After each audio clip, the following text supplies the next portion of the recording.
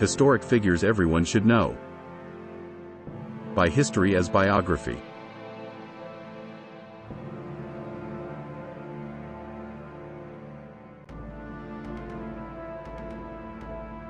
Nicholas Copernicus was a Polish mathematician and astronomer who is best known for his heliocentric model of the solar system, which proposed that the Sun, rather than the Earth, was the center of the universe.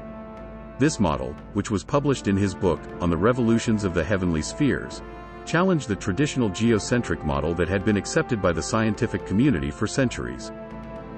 Copernicus was born in 1473 in the city of Torun, Poland.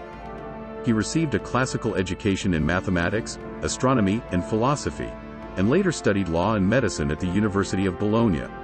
After completing his studies, he returned to Poland and became a canon in the church, a position which allowed him to pursue his interest in science. In the early 1500s, Copernicus began to develop his heliocentric model of the solar system. He proposed that the Earth, along with the other planets, revolved around the Sun in circular orbits.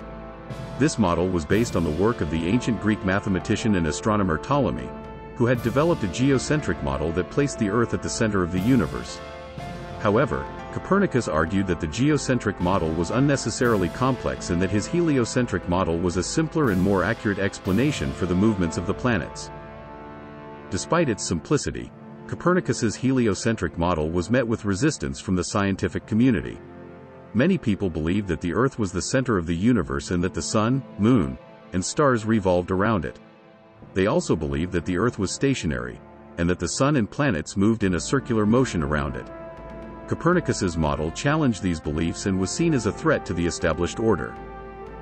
Despite the opposition, Copernicus continued to work on his model and eventually published On the Revolutions of the Heavenly Spheres in 1543. The book outlined his heliocentric model and provided evidence to support it. It was met with mixed reactions, with some people accepting it and others rejecting it. Copernicus's heliocentric model was eventually accepted by the scientific community and became the foundation of modern astronomy. It paved the way for the work of other scientists, such as Galileo Galilei and Johannes Kepler, who further developed and refined the model.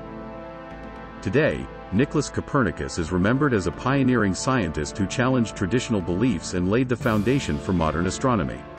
His contributions to science and the pursuit of knowledge have had a lasting impact on the world.